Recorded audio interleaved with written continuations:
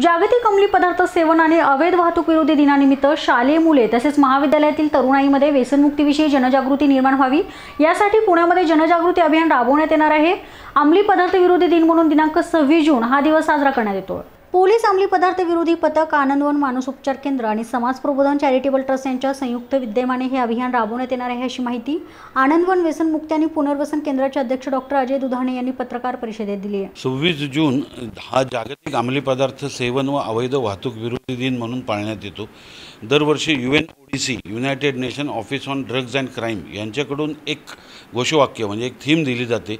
यावर्षीची जी थीम आहे justice for health and health for justice असं जे आहे त्यासाठी आम्ही काम करणार आहोत. आणि हा विविध उपक्रम या पंचवीस जूनपासून उद्या त्याचा शुभारंभ पंचवीस जून मराठवाडा कॉलेज ऑफ कॉमर्स येथून त्याचा शुभारंभ होणार आहे आणि सहा जुलैपर्यंत हा उपक्रम अभियान आमचं हे राबवलं जाणार आहे. यामध्ये विविध शाळा विविध कॉलेज त्याचबरोबर पुणे शहर पोलीस अंमली पदार्थ विरोधी पथक समाज प्रबोधन चॅरिटेबल ट्रस्ट अशा विविध स्वयंसेवी संस्था आणि पुणे शहर पोलीस हे सगळे एकत्र मिळून संयुक्त विद्यमान हा अभियान राबवलं जाणार आहे. विविध शाळांमधनं विविध कॉलेजेसमधनं आणि विद्यापीठांमधनं. या अभियानात जनजागृती करता पुणेकरांनी मोठ्या संख्येने सहभागी व्हावे असं आवाहन संस्थेतर्फे करण्यात आलंय.